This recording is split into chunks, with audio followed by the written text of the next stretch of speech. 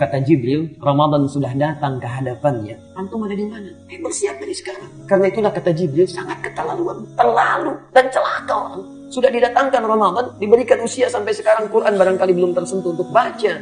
Dosa masih berliput. Didatangkan Ramadan untuk mengampuni dosa kita. Gak mau juga disepelekan. Ramadan datang bawa ampunan, bawa pahala berlipat, kemudian kita abaikan.